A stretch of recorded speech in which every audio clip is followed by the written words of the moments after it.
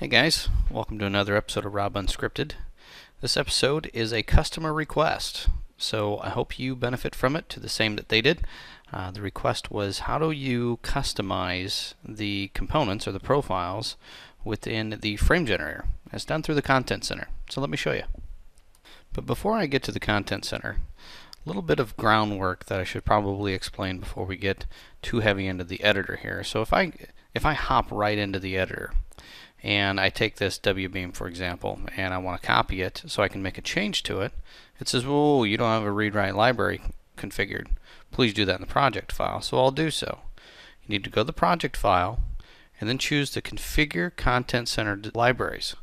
And within that, you need to make sure that you have a read-write library available. Because if you don't, you won't be able to customize any of the default libraries. We've set them by default to read-only. So you have to create a read-write library in order for you to customize your content center. Now we're ready to get started.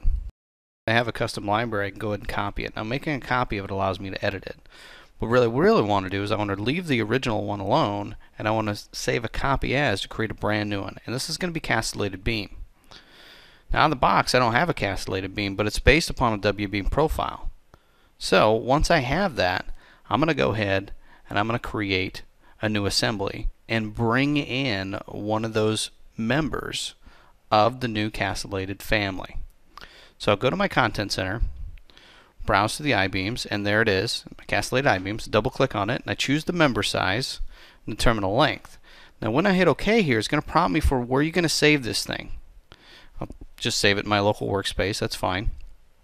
Place it, and then now that I've placed that one, you can see that's not a castellated beam yet. I need to make it a castellated beam. So the first thing I want to do is I want to figure out where this thing is, is extruding from. So I just double clicked on this sketch to see what direction it's extruding from. That way when it changes length I've properly positioned my first uh, cut that I'm going to put into this beam. So I'm going to sketch out the profile. I'm going to draw the arc within the line, which which many of you know how to do. If you haven't seen that before, it's a pretty cool little tip. Um, and I'll go through here and I'll place a bunch of constraints. So I'm placing tangent constraints here. Now you might be thinking, well, why didn't it pick it up automatically while I was sketching? And the reason for that, and, and, and this sometimes begins to be a, a problem uh, for many people, is, is they don't necessarily know that you've turned off uh, constraint inference. So let me show you where you can turn that back on. Right up here, I've got a little option here for constraint persistence. And once I turn that back on, now it's placing a horizontal constraint. It's placing the tangent constraint. So by default it's turned down, but every now and again when you get to clicking around, um, you can accidentally turn it off. And as you can see there, just by sketching, it automatically puts in those constraints. So a little bit of a sidebar there, but um, it, it, it's topical. I, I, I, had a question about that the other day. So go ahead and place a horizontal constraint so the this cut stays on the middle of this beam no matter what size beam I choose. And, and now I'm starting to take shape here. Real quick, I'm going to place a couple dimensions. Nice Camtasia edit there. and I'll go ahead and cut out uh, this particular profile of my castellated beam here. Okay. So now that I've got the profile, I'm going to use the pattern command to determine the number of features in that pattern, but I want to associate it to the overall length. So when I grab a, a, different length of beam, it automatically then adjusts the number of cuts. So I'm going to go ahead and add a couple parameters here. And the first one's going to be cut spacing, and I'll set it to 6 inches. It could be whatever you want, but uh, I'm just going to set it to 6 inches. And this next, this number of cuts, is going to be based upon the overall length divided by my cut spacing. So it's a unitless uh, number here so that it, it's actually designating a number of features based upon the overall length and my cut spacing.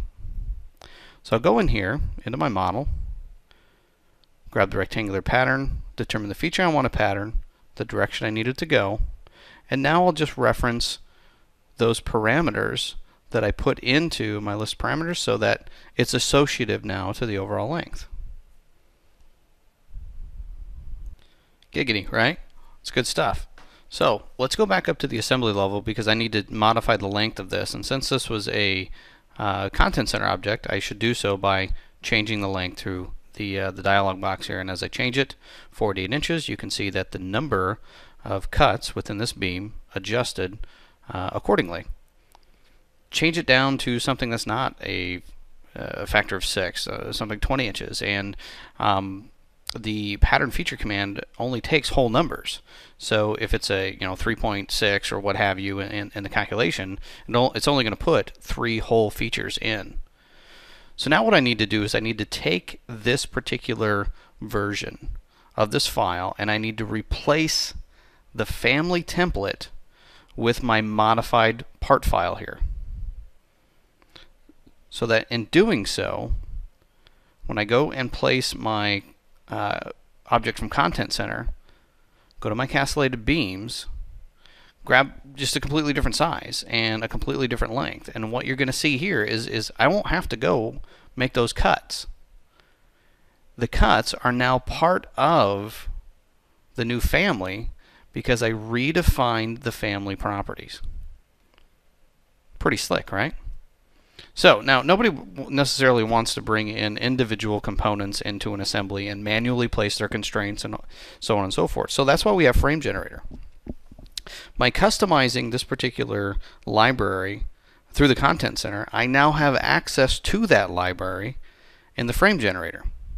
So I'm going to use a real quick skeletal modeling technique. Um, I know you guys have heard me talk about that quite a bit in some of my other videos. If you're not watching all the videos or not following me on Twitter, you can follow me on Twitter. You can check out all my videos uh, on youtube.com forward slash Rob Cohee.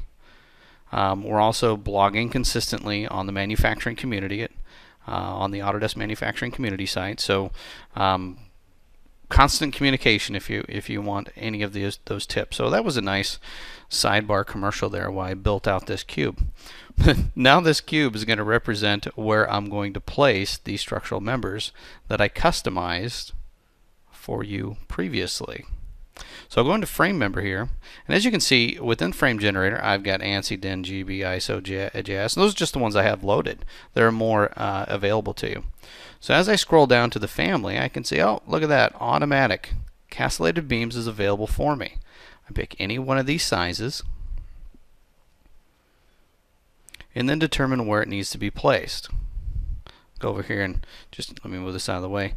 Click on a couple lines here and based upon the position of the geometry of the cube that I sketched, now I'm using that as a skeletal model for the placement of my structural castellated beams here. And if I zoom in on that, hey, sure enough, each and every one of those has the appropriate cutouts, the appropriate spacing that I want, and I'll even grab just a, another size. Just I just I don't even know which one I grabbed. It doesn't necessarily matter. It's not the point. It's that uh, since I redefined the family um, based upon the custom uh, profile that I that I edited and published it to that uh, that library, I can now reuse that for any other component that I wish. I thought that one was pretty uh, pretty useful. Uh, so did the customer. I hope you do as well. As always, uh, have a great day, and uh, we'll see you next time.